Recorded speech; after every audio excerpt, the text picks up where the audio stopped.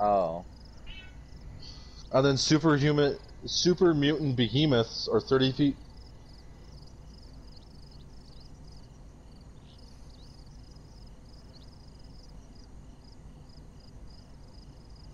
I'm like five eight. Skinny bitch. Yeah, I weigh 125. I'm a twig. Guess what, guys? Fortnite's adding cars. Uh, no one can. I regret ever spending money in that game because I never play it. I deleted it. What's that? I play the actual Fortnite, not the fucking Battle Royale.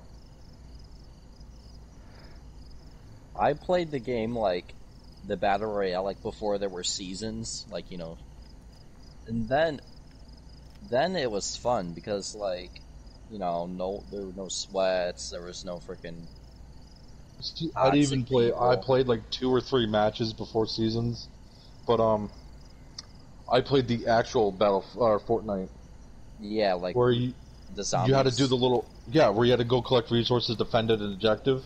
yeah I had that too. It's called Save the World now. And did they ever didn't it complete that, or did they just stop? Because last I heard, Uh, I I don't know. I know it's like a lot more than it was. because I remember there was only being three areas that you could go to.